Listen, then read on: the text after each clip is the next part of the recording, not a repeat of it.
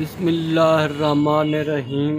अस्सलाम फ्रेंड, आप YouTube channel देख रहे हैं और मैं अरफान हूँ। आज हम आपको जो डिश ख़राब हो जाती है, टूट जाती है, जिसका फोकस आउट हो जाता है, आंधी की वजह से गिर कर तो उसके ऊपर रिंग लगा देते हैं, जो ये रिंग मैंने स्पेशल तैयार करवाया है। तो ये बहुत मज़बूत रिंग है। इसके ये देख लो गोल, उसका जो स्टैंड है वो भी मज़बूत है। तो ये एक दफ़ा लगा दें डिश के ऊपर तो बाद में डिश के हिलने का डर भी नहीं रहता और मज़बूत हो जाती है। एक दफ़ा बस सेट करवा लें। इसको फिर बाद में ये डिश नहीं हिलती। तो इसके सिग्नल भी बहुत ज़्यादा हो जाते हैं इस रिंग की वजह से।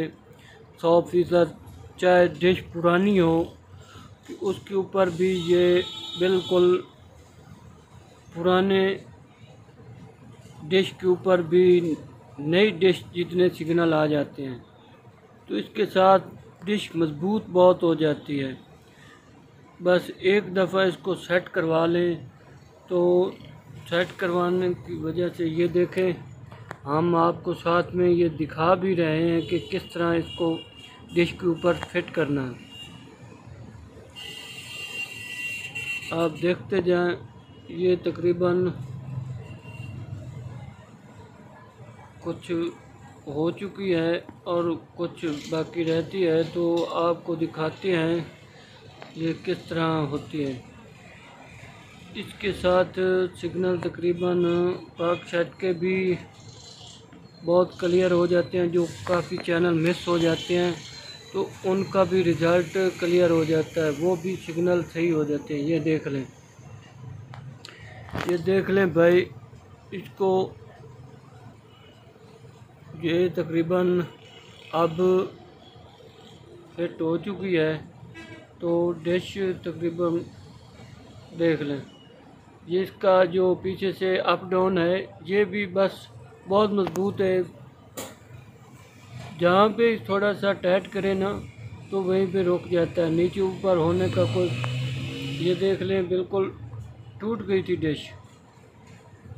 ये दरमियान से टेढ़ी भी हो गई थी तो उसकी वजह से मैंने ये रिंग लगा दिया है।